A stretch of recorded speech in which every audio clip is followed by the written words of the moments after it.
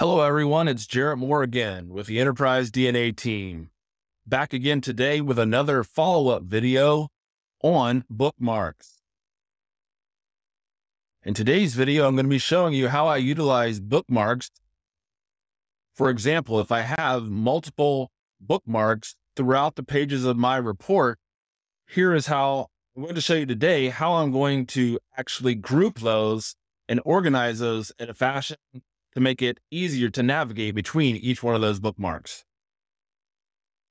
Before I show you how to use this technique, let's head on over to the Enterprise DNA forum.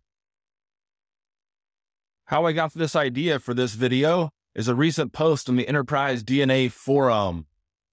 As you can see on this post here, John Griffiths from the Enterprise DNA forum had a question on trying to upload an idea to get bookmark management implemented in a future Power BI update. The link to this forum post will be in the description below. What's great about the Enterprise DNA forum is we have lots of people on there giving their thoughts and opinions.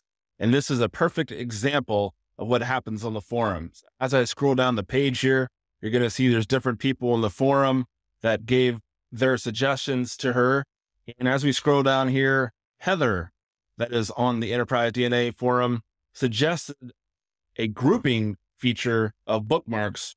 And this is something that she uses in her day to day use of Power BI if she has a report that has multiple bookmarks.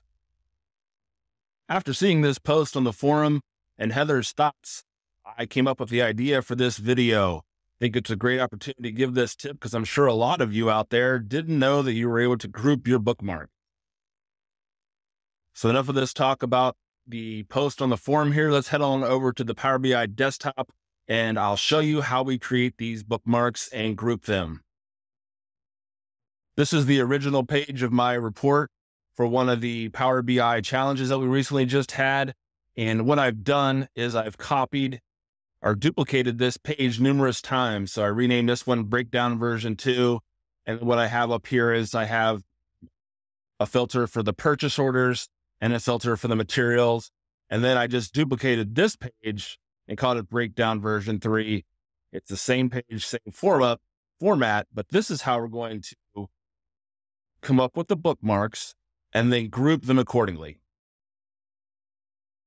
So first things first, I'll go back over here to the home tab. And first thing that I'm going to do is click on the view tab at the top. We're going to open up the bookmarks pane and we're going to open up the selection pane. Now with the bookmarks pane here, you can already see from page one of my report in the breakdown, the PO bookmark and the material bookmark were already used on this very first page. What we're going to do now is create more bookmarks and then group them. Okay, let's head on over to the breakdown version two page. And what I'm going to do is add a couple of bookmarks to this page just simply by hitting the add button over here in the bookmarks tab. So I'll hit add once and then I'll hit add again. And then we can rename, rename bookmark three. We'll just name that PO version two. And then for this one, we'll call this one material version two.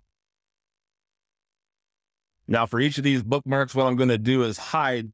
So for the material bookmark, I want to hide the purchase order slicer and then vice versa for the PO bookmark, per, PO bookmark version two. I want to hide the material slicer on this page.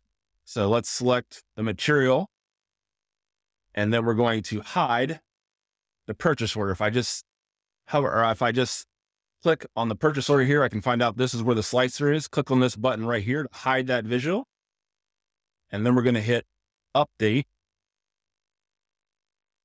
So that shows there. Now, if I go over to the PO version two, what we're going to do here is we're going to highlight the material slicer and hide that from this one.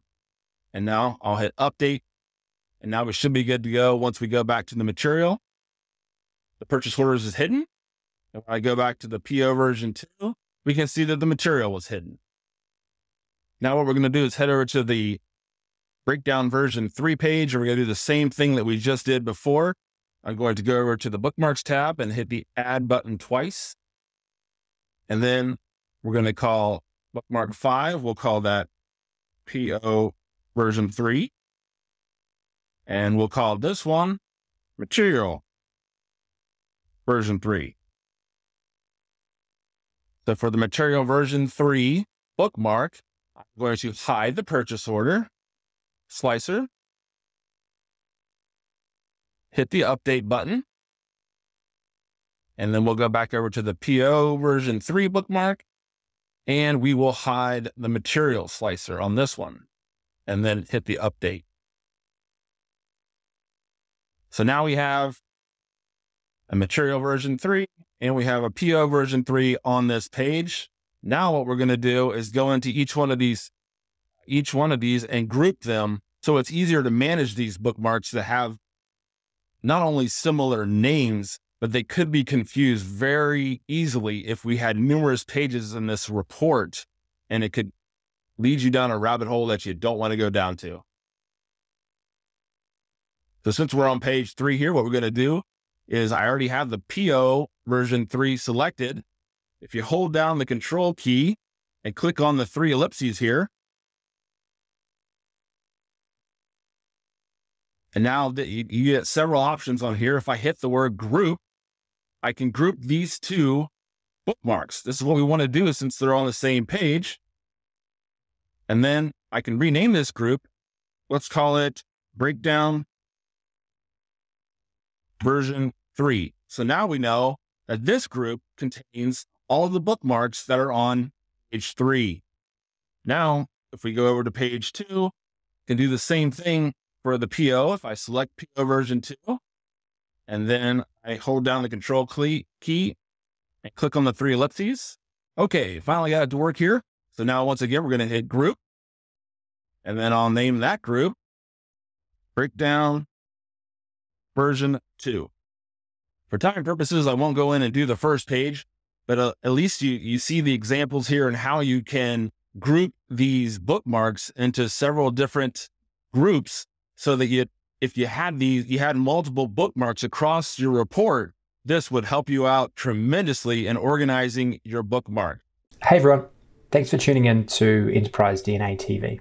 If you enjoyed the content covered in this particular tutorial, please throw the video a like. It really helps us and we really appreciate it.